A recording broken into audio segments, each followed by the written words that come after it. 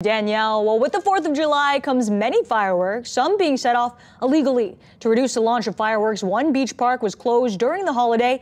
KITV4's Chloe Markley joins us live from Pu'uloa Beach Park to share what you need to know. Good morning, Chloe. Yeah, good morning. Well, Pu'uloa Beach Park is now open and opened right at 5 a.m., but you can still see the barriers are still in place. You cannot yet park at that parking lot. You must park on the street until those are removed.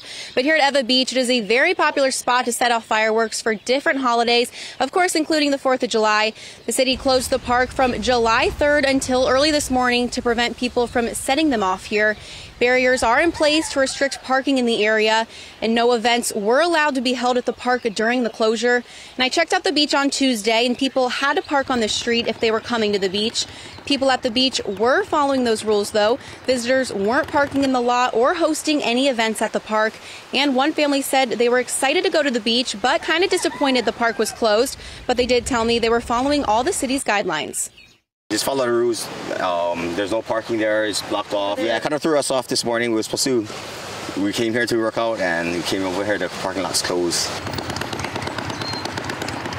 And according to the city, barriers will stay at the parking lot until a few hours after the park opens.